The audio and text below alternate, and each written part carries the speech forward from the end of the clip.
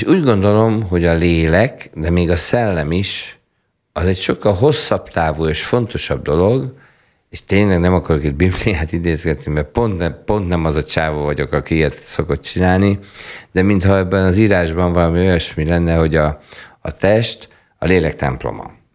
Tehát végül is egy épület, amiben egy fontosabb dolog van.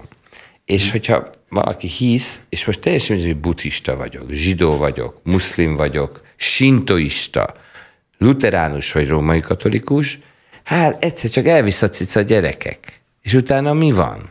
Test? Nem nagyon. Hello. Lélek? A mi hitünk szerint igen. Talán még szellem is. Tehát ezért szegény test a sor végére szorult.